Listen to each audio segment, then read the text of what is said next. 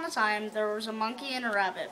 The monkey and the rabbit were assigned a contract. The monkey was to kill all the butterflies, and the rabbit was to kill all the snakes. One day, the monkey was strolling on by when he saw the rabbit taking a nap.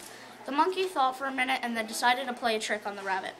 The monkey pulled the rabbit's ear, and then when the rabbit woke up, he was in pain and was very angry.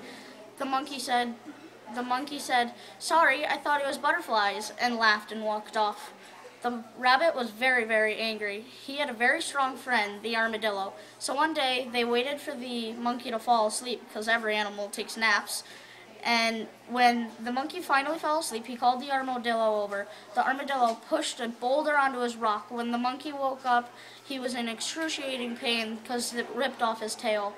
The monkey said, My tail, my tail, I can't do anything without my tail. How am I supposed to climb trees?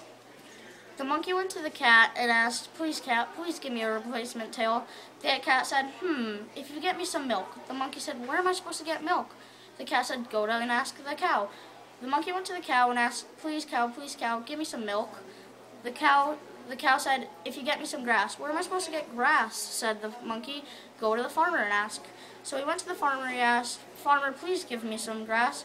"If you get me some rain," said the farmer. The the monkey said, "Where am I supposed to get rain?" The farmer said, "Go to the clouds."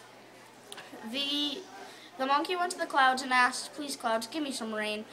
If you get me some fog, said the clouds. Where am I supposed to get fog, said the monkey. The clouds said, go to the spring, go to the river and ask.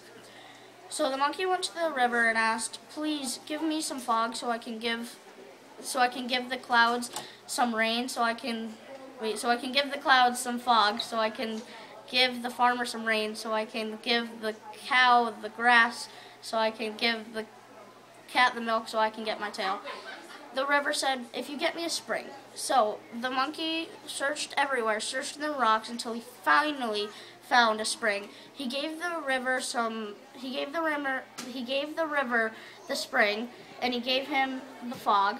Then he went to the clouds and got the rain. Then he went to the farmer and got the, and so then he went to the clouds and got the rain. Then he went to the farmer and got the grass.